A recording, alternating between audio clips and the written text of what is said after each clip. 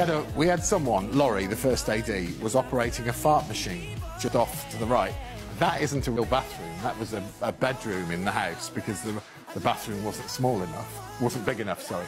So uh, we took a bedroom and we converted it. So it's a prop toilet, prop sink, etc. And um, so we had Laurie uh, operating a fart machine just off to my right here so that we could have you know, subtle little break of wind from Helena while she's holding me hostage in the toilet. And I was doing the scene, and then he was getting so trigger happy, it was ridiculous. I was trying to do lines, and there was. it was bloody ridiculous. So in the end, I had to stop acting. I looked over at him, and he wasn't pressing the button. and